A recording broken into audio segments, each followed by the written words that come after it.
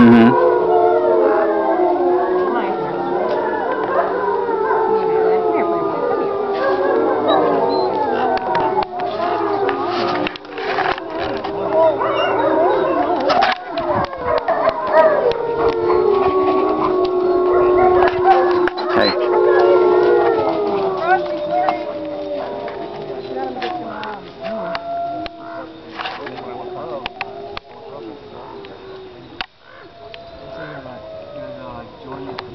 Yeah.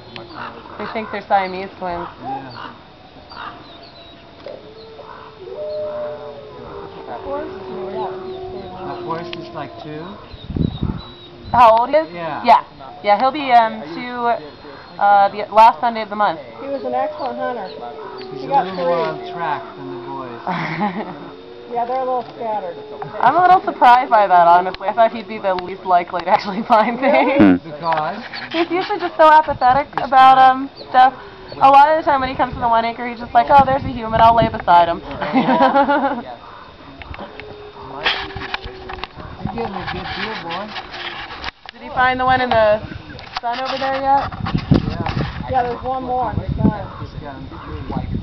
He keeps checking after he finds one to see if there's another. Mm-hmm.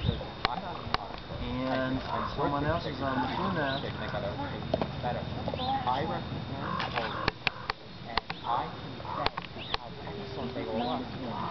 No, he'll, they'll find They'll find it. Here we go. Move on with it now. Yeah.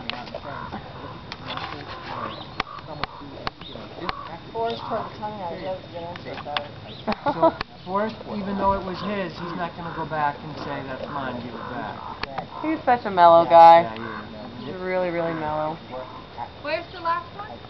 Down Over here. here.